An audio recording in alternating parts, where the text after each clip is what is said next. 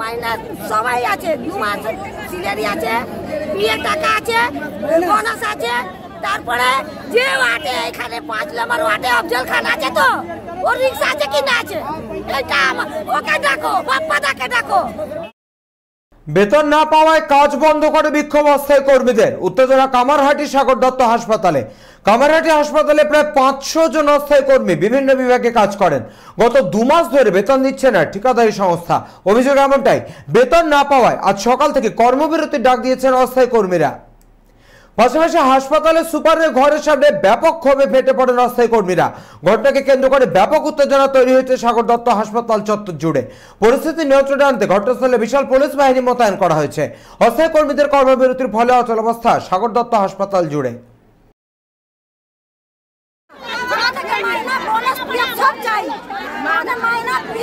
সব কিছু চাই আমাদের মাইনা বাড়ার কথা সেখানে কমে যাচ্ছে দিনে দিনে কমে যাচ্ছে মাইনা কমে যাচ্ছে মাইনা আট হাজার ন হাজার আমাদের মাইনা দেয় চার কত বছর ধরে চাকরি করছেন এখানে? তা আপনাদের পিএফ এর টাকা জমা হয় না ঠিক?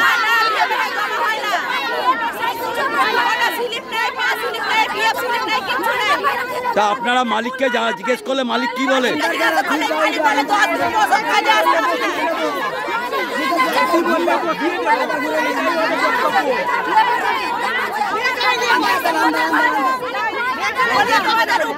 আপনার নাম?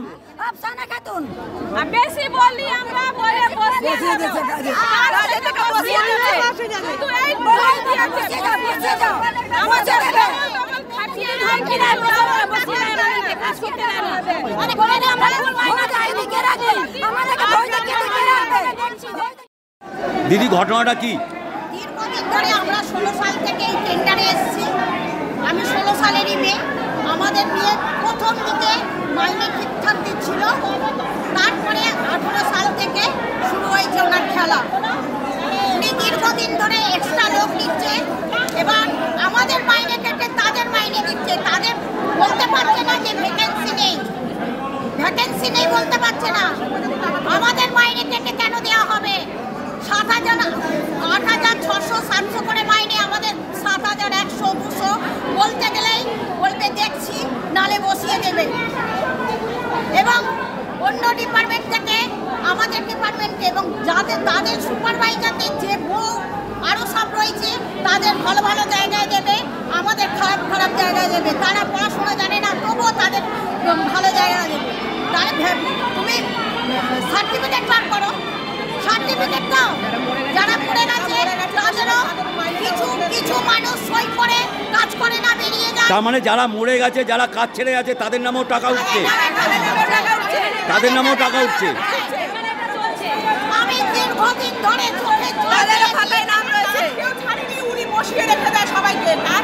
কিন্তু তাদের নামে টাকা উঠছে মৃত ব্যক্তির নামেও টাকা উঠছে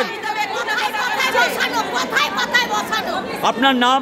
আমার নাম দীপালি বব্বু আমি ষোলো সালে দু হাজার ষোলো সালে দু হাজার ষোলো সালে সব থেকে পুরনো। সতেরোই কত মাসের টাকা বকেয়া এখন আপনাদের এখনও? দু মাসের টাকা দু মাসের টাকা বোনাস তো বিয়ে তো দেয় না। বোনাস আমরা পাইনি আমরা বোনাস পাইনি পিএফ যাইনি পিএফ এর টাকা আমাদের দিতে PF পারি এখনও না একবারও পাইনি, এতদিন ধরে কাজ করছি। আমরা এতদিন কাজ করি কোনো রকম কোনো কিছু নেই। দিন দিন ধরে আমাদের সমস্যা আছে। তাদের যেটা আজকের ওনাদের আন্দোলনের থেকে জানতে, বুঝতে পারলাম যে সেটা হচ্ছে যে এজেন্সির হয়ে ওনারা কাজ করেন, সেই এজেন্সি ওনাদের টাইমলি যে ওনাদের মান্থলি স্যালারি সেটা দিচ্ছেন না, বা ওনাদের যে প্রাপ্য পিএফের টাকা ওনাদের অ্যাকাউন্টে নাকি টাইমলি ঢুকছে না, বা তার সাথে ওনাদের যে ইপিএফ ইএসআই যে বেনিফিটসগুলো ওনারা পাবেন, ওনারা যেগুলো ওনাদের পাওয়ার কথা সেগুলো ওনারা ঠিকঠাক ওনাদের কোম্পানি ঠিকঠাক দিচ্ছেন না। তো সেই মর্মে ওনাদের এখন রমজান মাস চলছে, ফলে সবাইরই খুব অসুবিধায় আছে টাইমলি পয়সা না পাওয়ার জন্য।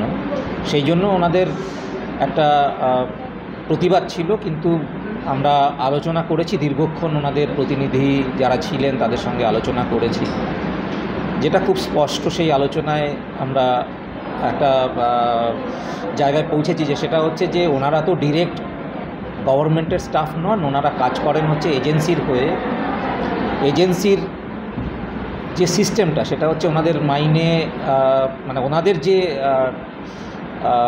এটা হয়, প্রাপ্যটা হয়, সেটা আমরা হচ্ছে আগের মাসের পেমেন্ট করেছে, তার প্রমাণ দিতে হয়, তার সঙ্গে নতুন বিল সাবমিট করলে আমরা এজেন্সিকে পে করি এজেন্সি তারপর তার ওয়ার্কারদেরকে পে করে, এটাই সিস্টেম এই হাসপাতালে নয় সরকারি সমস্ত হাসপাতালে কন্ট্রাকচুয়াল লেবারদের এইভাবেই পেমেন্ট হয়। তো ফেব্রুয়ারি মাসের পেমেন্ট ওনারা জানুয়ারি মাসের পেমেন্ট করেছেন, তার যে নথি আমাদেরকে দিয়ে বিল সাবমিট করেছিলেন, আমরা টাইমলি সেটা দিয়েছিলাম, কিন্তু ওয়ার্কারদের বক্তব্য, তারা সেটা এখনও ওনাদের সেই মাইনেটা কোম্পানি দেয়নি। এবারে যেহেতু ওনাদের মাইনেটা কোম্পানি দেয়, ওনাদের অ্যাকাউন্ট তো আর আমরা দেখতে পাই না। ফলে কোম্পানি দিয়েছে কি দেয়নি, সেটা ওনাদের অভিযোগের ভিত্তিতে আমাদের কোম্পানির সঙ্গে কথা বলব আমরা, সেটা আমরা বলেছি। ওনাদেরকে লিখিত অভিযোগ জানাতে আমরা বলেছি যে ওনাদের যে যে বেনিফিটস ওনাদের পাওয়ার কথা পাচ্ছেন না, সেগুলো জানালে পরে আমরা কোম্পানিকে জানাব এবং একই সঙ্গে স্বাস্থ্য ভবনে হায়ার অথরিটিকে আমরা জানাব। সেই সঙ্গে আমরা হাসপাতাল কর্তৃপক্ষের তরফ থেকে আমার স্টাফেদেরকে যারা কাজ করেন তাদেরকে আমরা এটা বলেছি যে কোনোভাবেই পরিষেবা যাতে ওনারা না বন্ধ করেন, ওনারা ওনাদের আন্দোলন অবশ্যই করতে পারেন। কিন্তু হাসপাতালে মুমূর্ষু রোগী আসেন, ইনডোরের মুমূর্ষু রোগী ভর্তি আছে। Bureau report, channel twenty four by seven.